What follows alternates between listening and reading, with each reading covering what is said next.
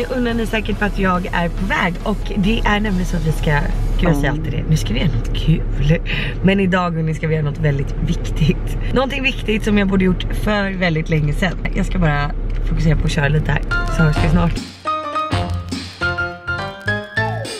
Så här är det nu då, att ni kan ju inte ha riktigt missat att jag ska gifta mig. Alltså vi har ju tittat runt lite på olika ställen, men vi har ju fortfarande inte bestämt oss. Idag så ska ni få hjälpa mig att välja ställe. Hur bra? Den här videon är ett samarbete med Stockholm Meeting Selection och de har massa bröllopsställen runt om i hela Stockholm. Jag tycker att det ska bli så kul. Ni får inte glömma att rösta på en gång här nere i kommentarsfältet. Det här är jättespännande att ni faktiskt får vara med och välja. Stort hörni framför Ekerö Skytteholm herrgård. Redan nu så känner man ju att man är lite kär och det var precis det här jag var rädd för att alla de här ställena vi ska till idag så känns det som att jag kommer tycka om allihopa på något sätt. Så det är verkligen tur att jag har er idag.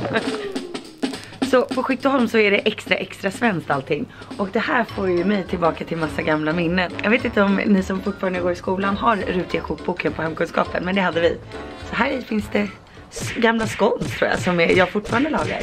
Bakar heter det. Vi ska börja med att kolla in en lada här.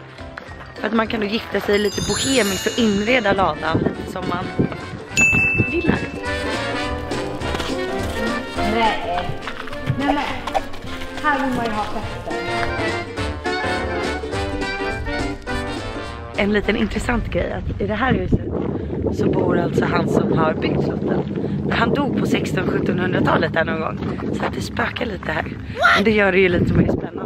Här är han, han som spökar på nätterna. Hej Johan, vad tror du om ett bröllop här? Är jag godkänd? Det är det som är den stora frågan. Sova på saken.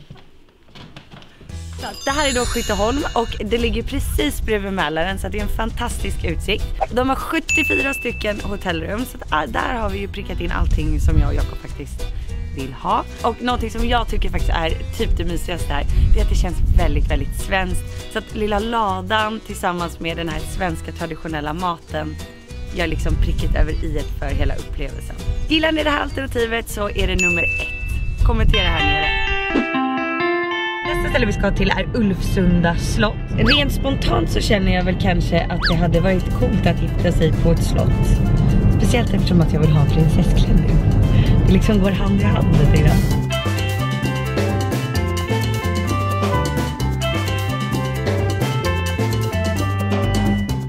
Då undrar ni sig, men vart står hon nu? Jo, nu står jag då inne på toaletten på Ulfsunda slott. Men kolla på det här. Det här är ju jättefarligt. Det gör ju att folk kanske fastnar på toan. Okej, okay, jag har ju verkligen en grej för eh, middagar och champagne och viner. Så att när jag ser det här nu så blir det lite som att jag är i himmelriket. Alltså jag bara ser framför mig hur vi har typ middag dagen innan bröllopet och så sitter man här och provsmakar massa viner. Okej, okay, så att Alternativ 2 är då Ulfsunda slott som har 54 stycken unika rum och middagsgäster kan man ha 100 stycken fast på sommaren så kan man slänga upp ett tält här på, eh, på uteplatsen och så kan man få in många, många fler. Men jag tror inte att vi kommer undan under 100 gäster. Det kan bli lite svårt och lite tajt. Jag känner mig typ mer förvirrad efter de här två besöken eh, och jag saknar ändå Jakob lite grann i det här beslutet. Men han litar blint på att jag eh, kommer välja rätt ställe. Nu är vi då vid Åkeshovs slott och det här kallas för då det gröna slottet och det har att göra med att eh, de serverar vegetarisk mat och det gillar ju jag. En sak som var väldigt viktig här då, det är de här tapeterna. De var alltså tydligen försvunna i 200 år och sen hittade man dem på Sankt Eriks sjukhus och så satte man upp dem igen. Och då fick jag precis höra att de är alltså som porr för en historiker. För att de är så speciella, coola. Porriga tapeter. På Åkeshovs slott. Alternativ nummer tre är Åkeshovs slott och det är det vi har här, det vackra i bakgrunden.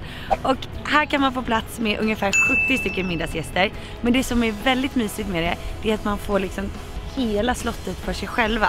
Så det känns väldigt så här, mysigt och familjärt. Och sen bäst utav allt tycker jag är att de fokuserar på det gröna. Och det är inte bara att det är vegetarisk mat som man kan få som hel bröllopsmeny. Utan också att det är så vackert och grönt runt omkring. Nu är det ju lite vitt och snö. Men på sommaren är det grönt och fint. Och sen även då orangeriet ifall att det skulle vara dåligt väder om man vill vika sig utomhus. Så har man ett alternativ till.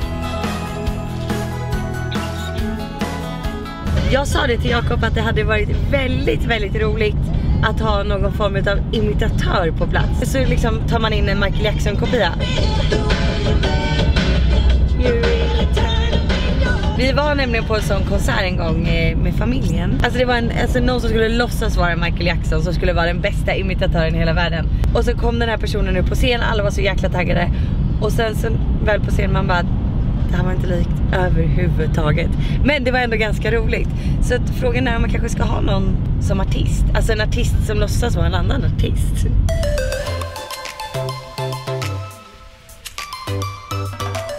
Okej, det här är alltså Hässelby slott och jag vet inte men någonting i mig säger att jag kommer gilla det här. De kallade det nämligen för typ det lite lekfullare slottet. Och så är det rosa. Två saker jag gillar. Alltså det här slottet känns som, ifall att man gillar musik mm. så känns det som att här har vi ett guldkorn. Skämtar du? Det finns karaoke! Ja! ja. Okej, okay. jag är såld. Record your own song. Öppna din dörr och säg att du vill ha mig här.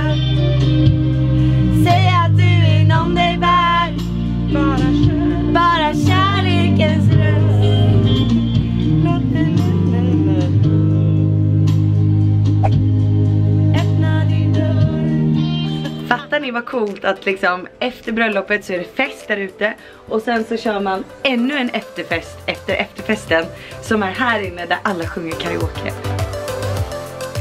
Och alla de här små tavlorna som hänger på väggarna det är alltså gamla Polarpristagare Säger man så? Polarpristagare? Ja.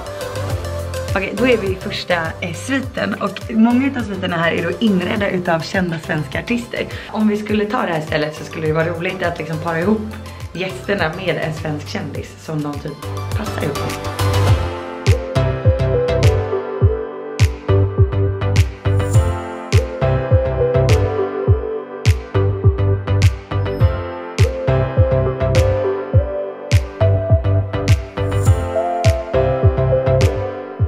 Okej, så det här är då alltså Hässelby slott och för det första så är det rosa, det tycker jag är en viktig USP. Och sen får de plats med väldigt många gäster. De har unika rum som är inredda utav artister och det kallas även för Sveriges musikslott. Och eh, bäst av allt kanske, de har karaokerum.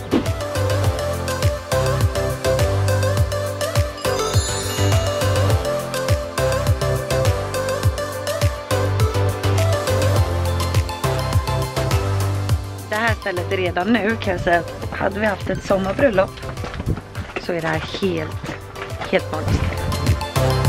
Så kan man liksom gifta sig i den här lilla lusthushistorien. Det som vore kul som man hade kunnat göra på sommaren det är att man tar båten typ från mitt i stan och så kommer man anlända hit. sånt destination unknown bröllop så som jag ska ha det. Jag också. Glömmer hela tiden att vi är två i det här. Okej, okay, så det här var då Villa Lovik och de tar upp till 100 personer sittande. De har det här fantastiska lilla lusthuset. De har 64 stycken hotellrum.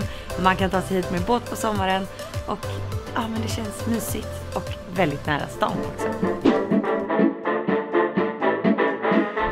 Okej, okay. jag trodde ju typ att jag redan hade bestämt mig men titta på det här.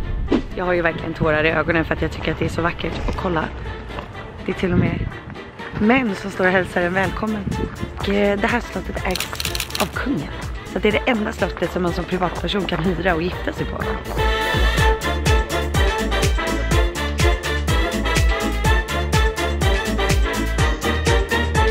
Vad är liksom absolut det bästa med det här stället? Det, det, det regnar ju aldrig på Rosersberg. What? Det är väldigt bra. Ja. Hörde ni? Det, det regnar aldrig här. Nej. Framförallt inte på bröllop. Nej. Nej. Kanon. Rosersbergs slott, jag är redan lite extra kär i det här stället och det är väl för det första att det är så sjukt vackert. Det här är ju typ det prinsessbröllopet man har drömt om i hela sitt liv. Sen älskar jag också att de har sitt egna bryggeri. Jag älskar också att det är kungligt ägt så att, men att man liksom som privatperson får hyra det. Och sen också då att det går att få 120 personer att sova här och faktiskt kunna ha fest för dem. Okej.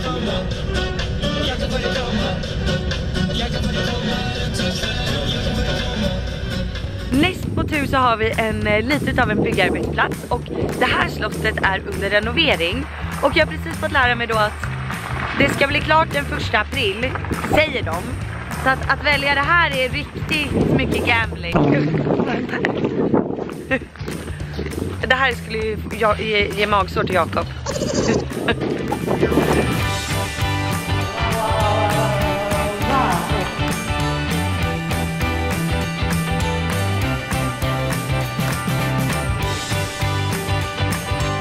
Okej, så det här slottet har brunnit ner och sen byggts upp av en familj som heter familjen Lamm. Och de hade sex barn och fester hela tiden. Så att det här slottet kallas för festernas. Det låter ju som att det skulle kunna varit jag och Jakob som byggde upp det. Mm.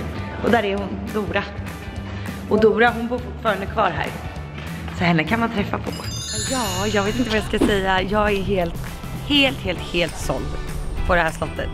Tyvärr är det ju inte färdigt och kommer inte bli det förrän efter bröllopet. Så att jag prällbokar min 30-årsfest här om ett och ett halvt år. Det här är alltså familjärt, festligt, topp, topp, topp renoverat. Alltså, jag tycker faktiskt att det här bockar av alla, alla mina liksom kriterier. Så alla ni som ska gifta er, kolla den här länken här nere i beskrivningen. Ja hörni, jag önskade ju att jag skulle kunna säga nu att här, jag vet i alla fall vad jag vill men jag vet faktiskt inte vad jag vill. Och speciellt efter att man har träffat alla de här underbara människorna som jobbar på slotten. Jag vill liksom att de också ska vara en del av bröllopet för att alla har varit så himla, himla, himla trevliga. Ifall att ni ska gifta er eller ha en fest så ska ni använda Stockholm Meeting Selection för att det här har varit det bästa bemötandet jag någonsin har fått. Och eh, jag länkar allting här nere och alla slotten som vi har varit på och herrgård. Eh, så att ni lätt kan hitta allting. Och glöm snälla inte att eh, hjälpa till att välja. För att ni ska liksom få vara med och välja här nu. Nu när Jakob inte är med så litar jag på er. Blint på er.